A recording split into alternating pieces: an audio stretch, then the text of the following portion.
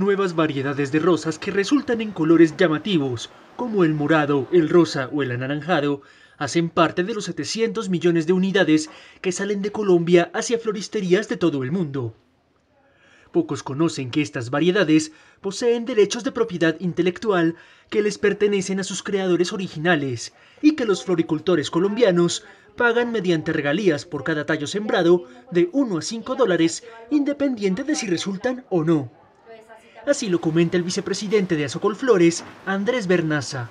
Una, una variedad puede ser el resultado de millones de intentos de cruces en donde se prueba calidad, colores y otros aspectos muy importantes de cada flor.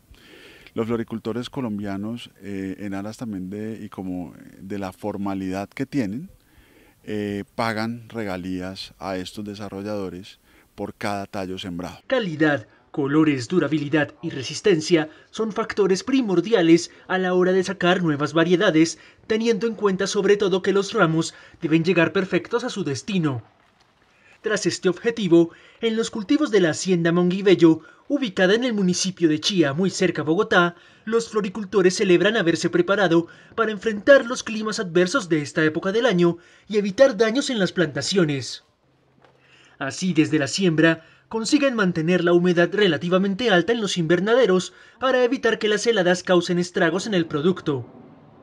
Luego, durante su envío por aire o mar, viajan en grandes cámaras frigoríficas. Al respecto se refiere Lisandro Martínez, supervisor de post cosecha. Siempre tenemos que estar de unos 3 grados. Si nos sube la temperatura, nos avisa un sensor. O si de baja, nos avisa un sensor que está muy baja la temperatura y nos puede dañar la flor. Se puede quemar, la quema. El objetivo es que las flores duren perfectas en manos de quien las recibe hasta 20 días. Toda una satisfacción para personas como Lorena y Cerrato, quien selecciona, limpia pétalos y arma los ramos, enfocada en la idea de cumplir sus sueños. Gracias a, digamos, a mi trabajo que tengo, pues he sacado mis hijos adelante, eh, pues mi sueño es conseguir mi casa, que eso es lo que más anhelo. No solo los enamorados de todo el mundo son felices por esta época de San Valentín, gracias a las flores. En total, son 27.000 empleos temporales que se abren en los cultivos para mujeres cabezas de familia, con los que ellas pueden llevar un ingreso a sus casas. Cabe recordar que Colombia se mantiene como el segundo mayor exportador mundial de flores, solo superado por Holanda.